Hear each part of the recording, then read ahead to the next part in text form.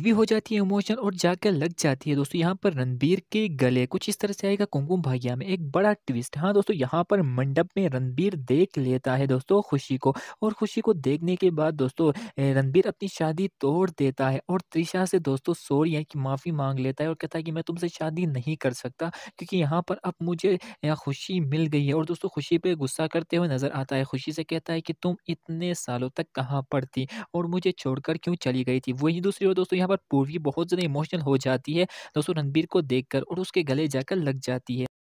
तो दोस्तों थी ना इंटरेस्टिंग अपडेट दोस्तों इस तरह की इंटरेस्टिंग वीडियोस देखने के लिए हमारे चैनल को ज़रूर सब्सक्राइब करें और वीडियो को लाइक भी ज़रूर करें।